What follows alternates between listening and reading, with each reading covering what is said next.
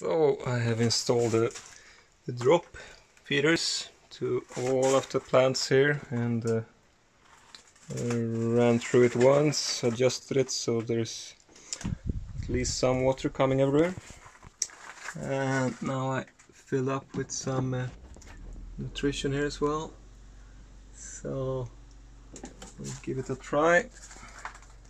This is the control unit and there's a hidden button here to manually activate it.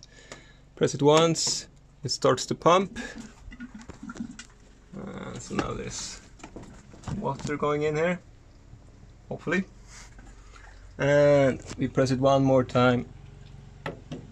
Uh, LED shines here and that says that when the water reaches uh, 2 liters the nutrition will be added to the water so it will be mixed and the water will continue to fill up the bucket until it reaches 5 liters.